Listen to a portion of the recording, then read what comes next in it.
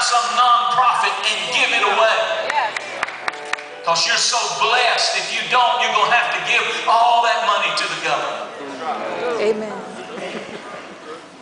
I'll tell you, it's good when the government sends you a check, I guess, you know, from, from, your, from the tax cut. But it's even better when you're so blessed that you don't get one.